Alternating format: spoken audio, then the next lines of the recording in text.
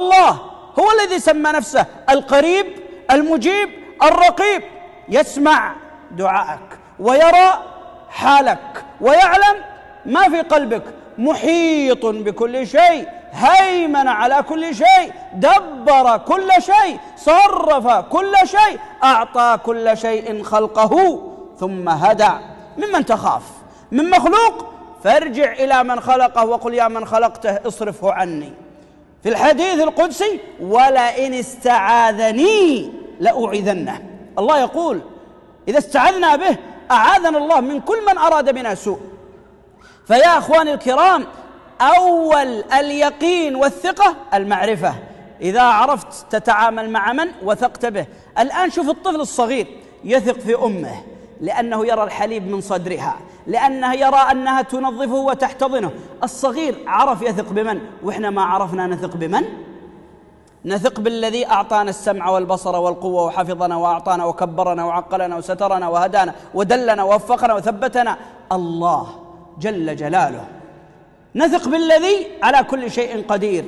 نثق بالذي قال في كتابه الكريم وقال ربكم ادعوني أستجب.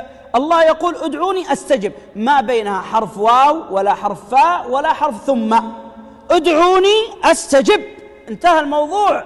الله وعد بالإجابة لكن كيف نعرفه؟ فنثق به فنتوكل عليه فندعوه باليقين. كما دعاه محمد صلى الله عليه وآله وسلم. في غزوة بدر محمد صلى الله عليه وسلم مع ثلاثمائة رجل وأبو جهل معه ألف رجل محمد ما عنده الطعام وأبو جهل معه كل يوم يأكلون عشرة من الإبل محمد صلى الله عليه وسلم ما عنده السلاح وأبو جهل مدجج بالسلاح ومحمد صلى الله عليه وسلم عرف المدبر والمصرف والذي بيده الأمر والذي قد قدر وقضى فقال في ليلته وهو بين يدي ربه اللهم وعدك الذي وعدتني.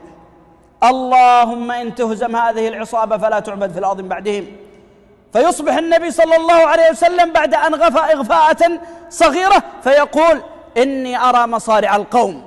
هنا يقتل فلان وهنا يقتل فلان وهنا يقتل فلان. ثقة بالله تبارك وتعالى لجأ إلى الملك. ما في سيوف لجأ إلى الملك. ما في سلاح لجأ إلى الملك. ما عنده عتاد. لجأ إلى الملك. العدد قليل. لجأ إلى الملك.